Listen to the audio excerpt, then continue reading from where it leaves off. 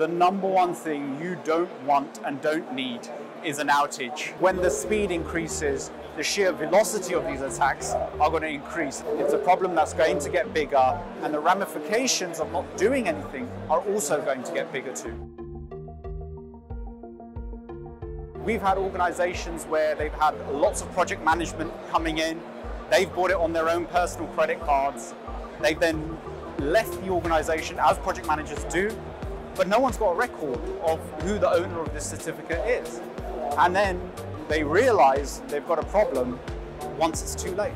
When you work in IT security, the number one thing you don't want and don't need is an outage. With AppViewX, what we do is we discover, we manage, we maintain, we renew, and we revoke. So all those functions are covered.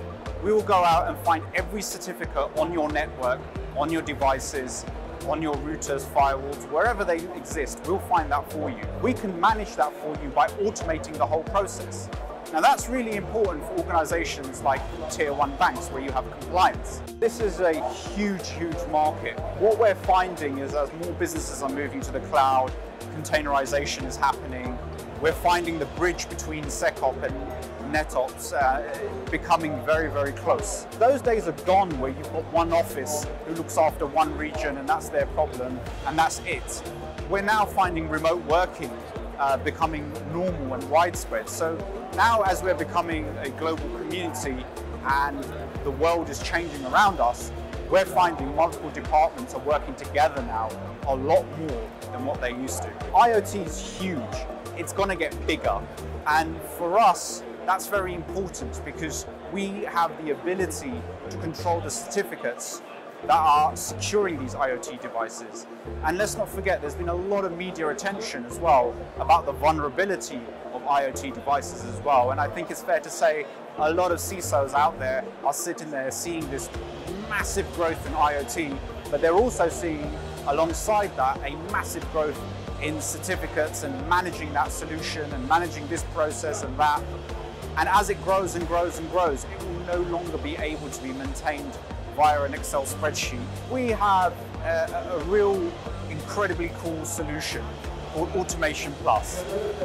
And in simple terms, what we're doing is giving you the ability to create an app, create a software, or whatever process within your business um, in a visual workflow diagram. This whole process takes weeks to set up.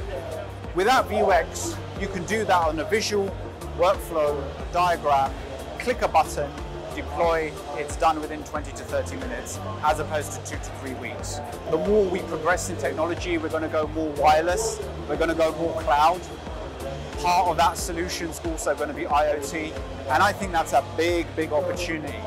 I also think that's a great place for us as a business because we have the ability to secure that. A decade ago, the big concern with cloud was, is my data going to be secure?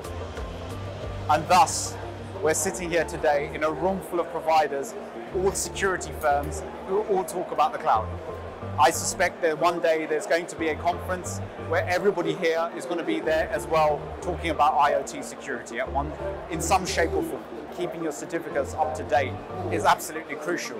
I go on the internet today Forget 5G. I go on the internet today and I visit websites and my browser will tell me certificate expired, will not open the website. You imagine the amount of users increasing, the speed increasing, the number of content and pages and services increasing, and we are looking at a perfect storm for a company that doesn't have this under their belt, simply not paying attention to this problem. And I always say to people, hope is not a strategy. This is something that's not going to go away. And I think with us and other companies that work in this space, it presents a gigantic opportunity to really educate the market and really highlight to the market that this is a problem that's not going to go away. It's a problem that's going to get bigger and the ramifications of not doing anything are also going to get bigger too. My message for everybody watching out there is very simple. There's no magic formula okay? And there's nothing wrong with being afraid or not understanding or not knowing the problem at hand.